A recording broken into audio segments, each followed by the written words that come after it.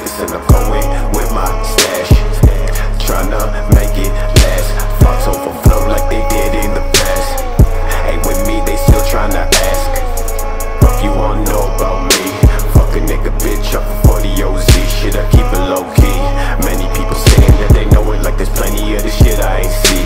Catch me overseas in the